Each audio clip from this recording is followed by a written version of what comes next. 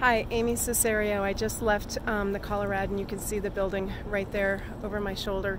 Um, checking out one of my clients' uh, units before we close. I've got a couple closing at the end of this month, and then a couple of more closing at the beginning of July. Uh, they told me they have nine units left in the building and then otherwise they're sold out, which is pretty exciting.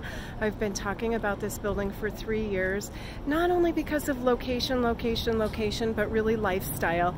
And um, hopefully you'll be able to see all the people that keep walking by me. It's a Rockies day, so people um, are getting off the train and heading to the Rockies game. As you can see behind me, that's Union Station. That's where the light rail train takes you up to the airport. And then if you walk over this way, that's where um, the light rail takes you, or you can get the light rail from, gosh, all over the city. So anyway, nine units left in this building, which is pretty exciting. And one of the questions I get is why would I want to buy one of the last nine units?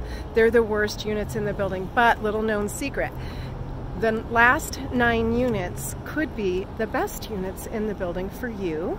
And also you have to remember, every once in a while somebody cannot close. So one of the um, early, uh, one of the people in, early, or a couple of the people in early might not be able to close on their unit. And so this is your opportunity to get into this building in one of the best units in the city.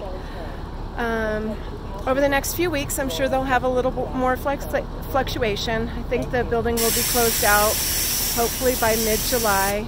Again, if you are interested in living in downtown Denver, give me a call, 303-995-3180.